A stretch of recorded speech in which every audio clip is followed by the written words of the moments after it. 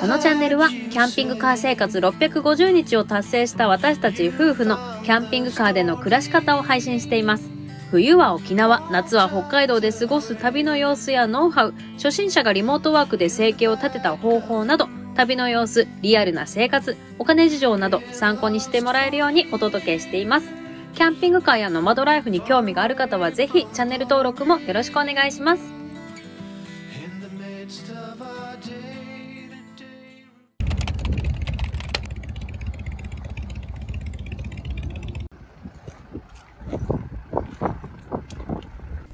さて、苫小牧港へ上陸した私たちですが、北海道は広いですね。ついて早々、スケールの大きさを感じています。これから夏の終わり頃まで過ごすつもりですが、これだけ大きいので、計画的に回らないといけないですね。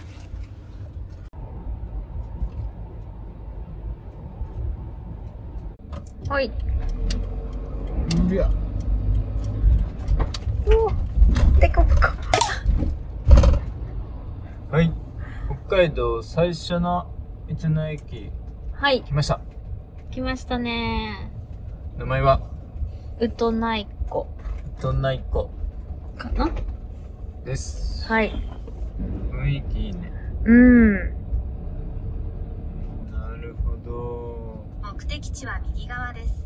お疲れ様で車した。中泊してる人多そうだね。はい。おにぎりを抜きしてます。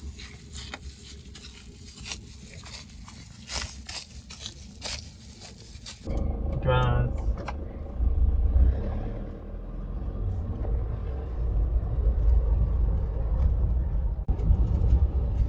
この方がいいじここの方が良かった。だけどあれか。今回は苫小牧から少し北上して千歳、恵庭、札幌など北海道の中心地を回っていきます。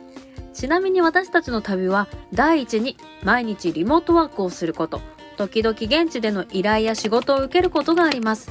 そして毎日の暮らしを送る中ではシャワーやお風呂に行くこと、スーパーで食材の買い出しや水の補給、ガソリンの給油や給排水、雨が続けば充電環境のあるお店へ移動。毎日の車中泊場所の確認などなど結構いろいろやることがあります。そして天気が良ければ撮影。最近はちょっとお金が稼げるようになったのでこれに加えて観光。毎日仕事と旅と暮らしを両立していると旅のプランを決めるときは天候シャワーや買い出しなどやるべきこと仕事の量を見ながら移動先を見つけて暮らしています。行き当たりばったりな毎日です。いつも同じ場所で暮らすのに比べて大変なこともありますが、ようやくこのスタイルにも慣れました。レンタルがある。ねえクリソンジャーニーともう一個なんだろう。この暮らしを始めてから変わらず続いている習慣といえば、毎朝のコーヒータイム、スムージー作り、そしてヨガ。暮らしの中の小さな喜びです。北海道に来て緑の美しさに感動してます。沖縄大好きな私たちでしたが、また雰囲気の違う豊かな自然を感じられて、北海道に来てよかったなぁと実感しました。右だって。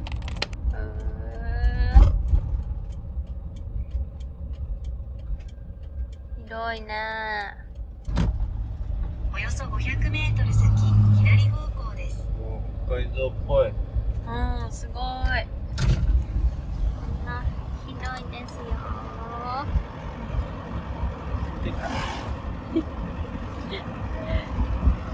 大きいね。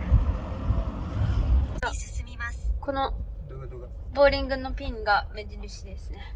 ええ 倒れてなんだこれ。どういうことあー、すごいところだね。すごいとこころんなだね感じで。1.5キロ道なりです。はい、在。目的地に到着しました。すごい。続いてこちらは北海道で見つけた穴場温泉、宿梅温泉、千歳にあります。パッと見温泉に見えない佇まいのこちら。中に入ると普通のリビングのような様子ですが、実はここがめちゃくちゃいい温泉でした。ほのかな硫黄臭が香る少し黒っぽいお湯。源泉を薪で沸かしているようで、結構厚めのお湯でした。ただいま。かりどうでした？めっちゃいいお湯だったね。いい湯だった。一番良かった気がする。そうかもしれん。今までの中で。ねすごい。ぬるぬるだったね。ああ、よかったね。よかった。元気になった。元気になったね。うん。顔がポッカポカに赤くなってる。そう。なんか、めっちゃ熱いお湯だけど、なんか、ね、熱いだけじゃなくてね、なんか気持ちよかっ気持ちよかったね。あんた。た。あと優しかったみんなが。あ、そうなんだね。うん。へえとってもいい人たちだった。よかったね。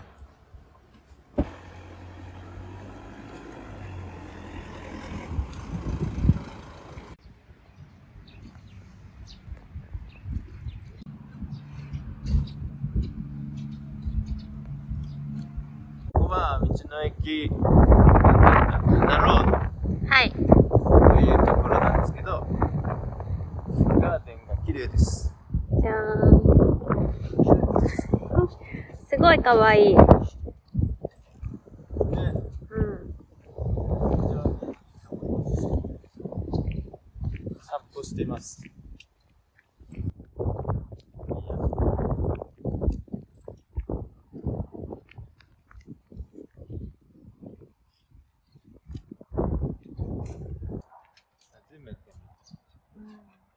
かわいい。ね。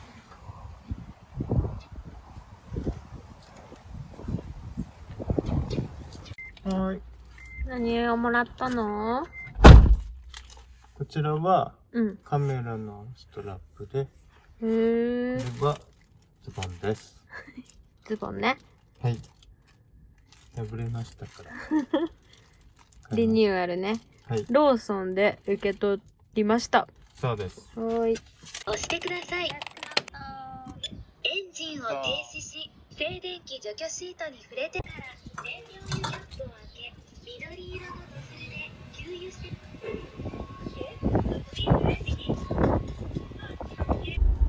てってって。すごーい。北海道産の麦です。麦です。高いよ。国産ですから。すごいでしょ？できました。はい。はい。今日はね、あの、ヘッドスパに行きます。いいね。やったー。で、札幌だから、せっかくなので、スープカレーとか行きたいなと思ってます。おーい。じゃあね、こういう感じでいきますよ。はーい。はい。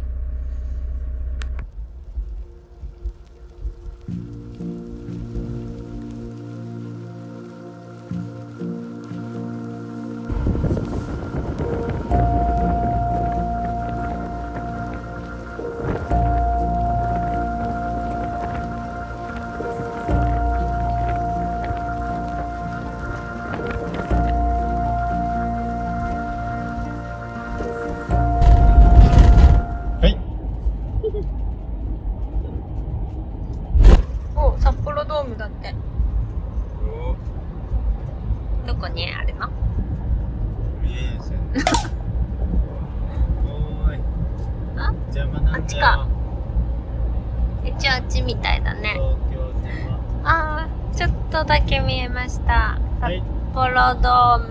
札幌ドーム。も大きい感じだ。うわ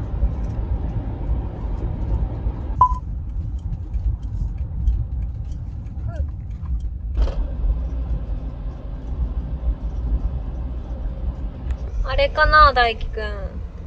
テレビ塔？札幌テレビと、左車線を進みますちょっと頭しか見えてないんだね。うん。この辺散歩したら楽しそうだね。そうだね。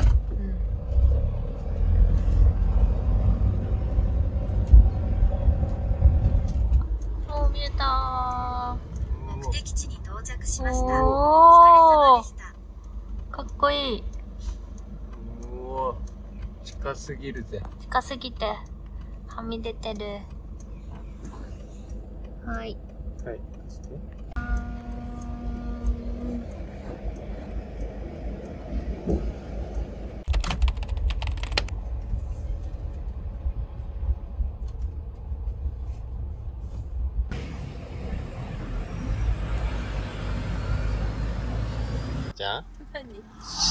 塩せんべいと沖縄の塩せんべいとうん。醤油とうん。あとこれと、うんどれが一番好き？塩せんべい。塩せんべい好き ?2 番は？2番はこれと、はいエビせんべいと、はい沖縄の塩せんべい。2番が多いじゃんそう。おい3番は？うーん、醤油。はい到着いはーい、ありがとう。行ってきます。ってらっしゃいじゃあね。はーい。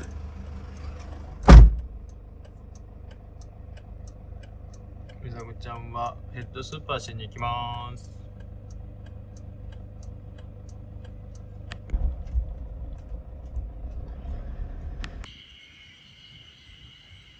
はいこちらは旭山記念公園に来ました。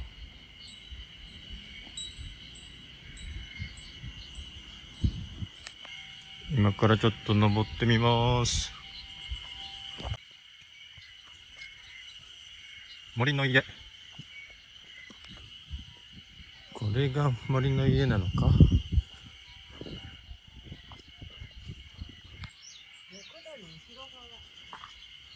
クローズ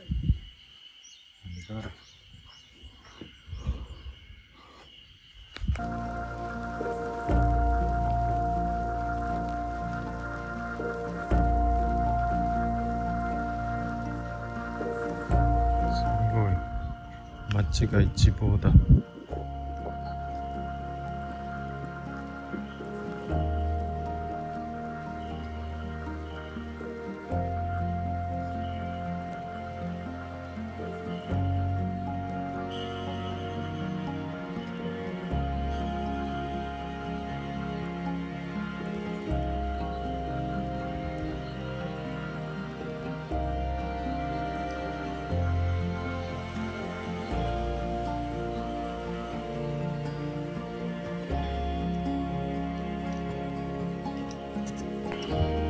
通の道路に出てきましたは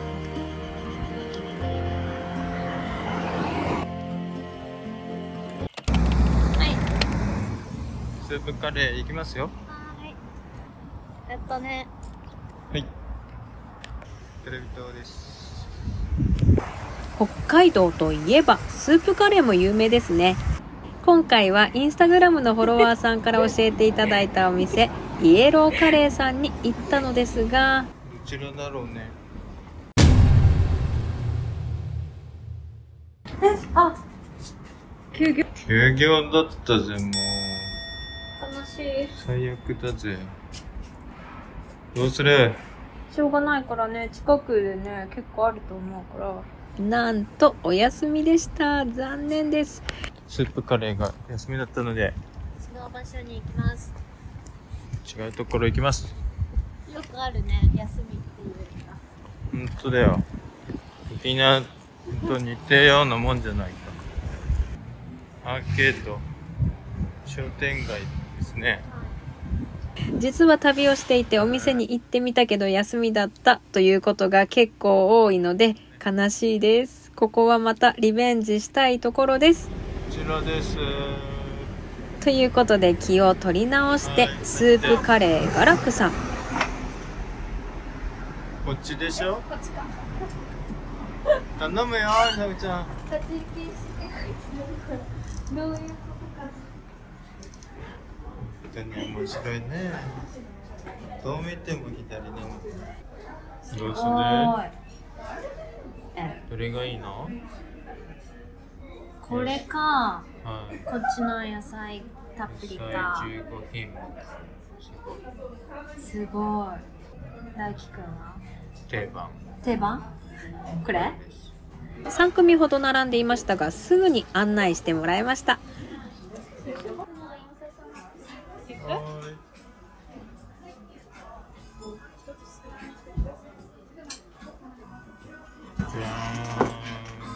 はい来ました。来ましたね。なんかこう雰囲気のあるところですね。そうだね。これはさう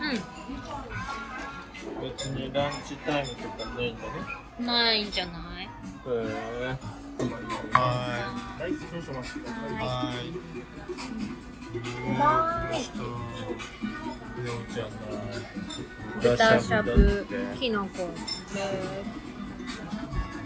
のはうん骨付きチキンみたいなやつですよかったね。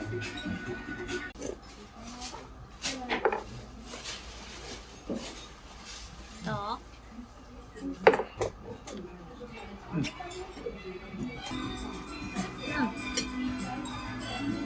ねボリュームたっぷりの野菜とスパイスの効いたスープが最高です。美味しいね。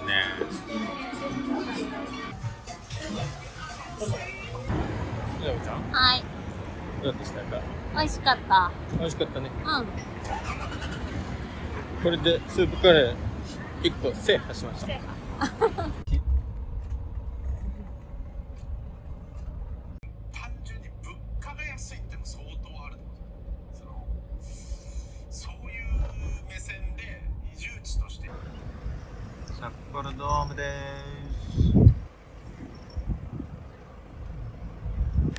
じゃあちゃんはい。スーパーで美味しそうな天津飯を買いました。そうですカニがたっぷり乗ってる方を買ってきました。そうなんです安かったしねそう。ちょっとまだあったかいから。今食べますはい。美味しそう。美味しそうですどうぞいただいてくださいいただきます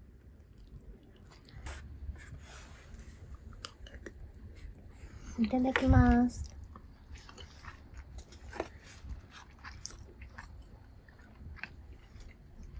うん美味しいうん。美味しい。普通に美味しいねなおちゃん？ごま油どうでした？ごま油かけたら美味しい。そうでしょ？ちょっぴりね。上等になったでしょ？そうだね。美味しい。おはようございます。おはようございますはい。北海道バンライフ1週間が経ちました。はいどうですか？寒いです 寒いですね。パーカーだもんね、今も。はいで、夜はね、寝袋ですが。ちょっと早く来すぎたんですはい。今日は、ナッツに向かってます。ナッツ RV 札幌店があるので、はいね、札幌に行きたいと思います。そうですはーい。お疲れ様でした見えました見えましあ、たねかっこいい車が並んでる。ここだ。矢印。いっぱいあるぜたくさんある。すごい。ナッツ、札幌店です。洗ってるね。おおうんやってるあの中にもいっぱいある。すごい。そして、札幌といえば、ナッツ RV 札幌店。私たちのクレソンジャーニーもナッツさんでお世話になっていますので、行ってきました。ナッツさんは全国8カ所に店舗があるので、旅先でも安心です。いつもありがとうございます。なんかちょっとまあ触ったりとか引っかかると取れるっていうそうですね一応豊川店で一回、あの、やってもらって、はい止めてもらったんだけど、また外れちゃって。豊川ではどういう風になんか止めてもらったとかっていうのは？一旦接着剤みたいなものでつけたんですけどまたすぐなんか浮いてきて、多分錆びちゃってるからうまいことくっついてないのかな。これって皆さん錆びたりするんですか？ここまで錆びてるのは僕はまだあんまり見たことはないんですけど、結構な頻度で使ってらっしゃる方とそうじゃない方によってやっぱりまた変わってきてはしまうと思うので、そうですね。僕たちは毎日。よく毎日使ってるから 試してらっしゃるっていうのでは使用頻度はかなり高いなので、はい。それでかなとは思います。まあ、埋める方法っていうのは正直あるっちゃあるんですけど、はいここを開けれなくなってしまう不都合が出たりとかっていうのがあるので、はいはいどうしたらいいかな。ね困るわ。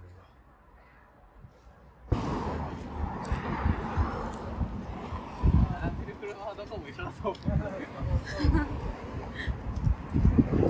何が一番売れます？タイプが。うんうんうんあ、本当ですね。右の方、まあもう納車待ちのお車ですけど。あ、そうですか。ええ本当だ、本当だ。これもう新しいタイプですか？えーと新型はまだこの中だと1台だけですね。あ、そうなんですね。ダブルタイヤのやつは。初期状態。はい、そこに排水口をつけるたシャワーパンあってなるとどのくらいのなんか日数とか費用ってどのくらいですか？後付けでシャワーパンです。はい普通の多分オプション価格に載ってるやつよりプラスアルファだと。はいはい。これが新型？そうです。クレア？クレソンですク。レソンはい。新型のクレソン。新型クレソンで、こっちは従来の従来の？クレアです。僕たちと同じ年代のね。うん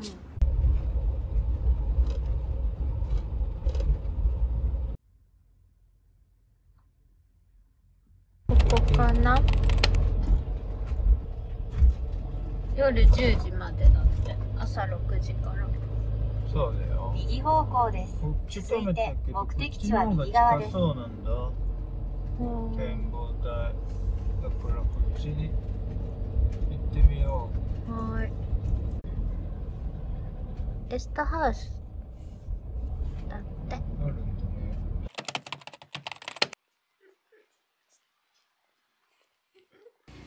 こちらは札幌にある旭山記念公園。昼間も見晴らしが良くて最高でしたが夜はライトアップされていて感激しました。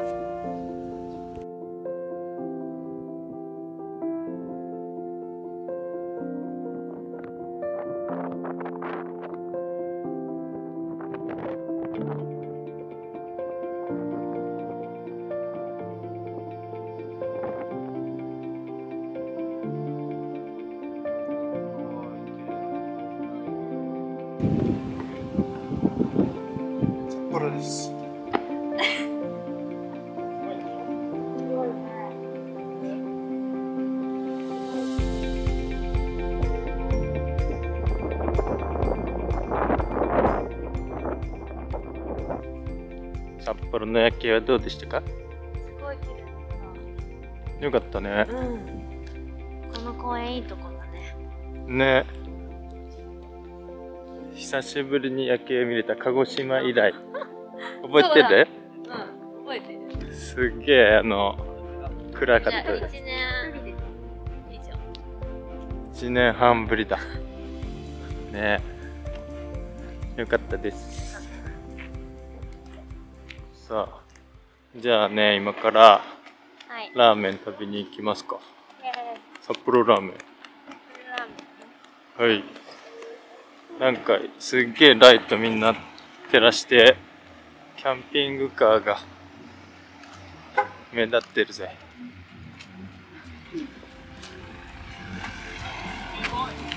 6月中はまだ少し寒さを感じる日や蝦夷梅雨と呼ばれる雨季のような時期もありました。これから本格的に気持ちのいい季節になりそうでますます楽しみです。